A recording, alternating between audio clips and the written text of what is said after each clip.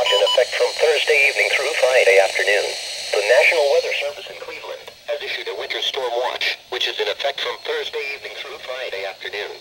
Strong low pressure will move across southern Ohio Thursday night into Friday.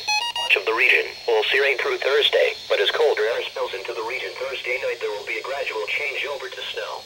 The main concern is how long a period of freezing rain or sleet could persist as the area transitions to the snowfall. Winds will also increase on Friday as the area of low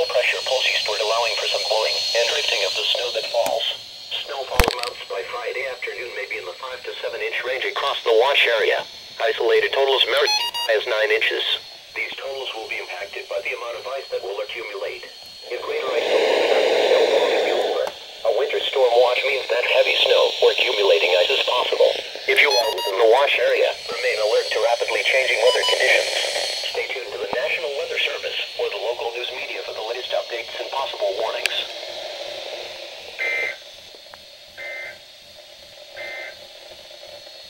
Epic win.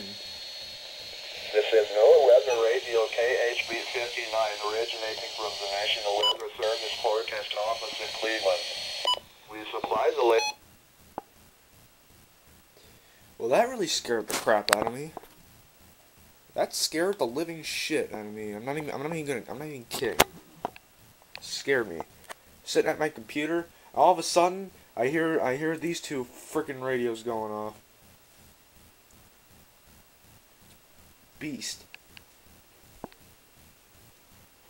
That's it.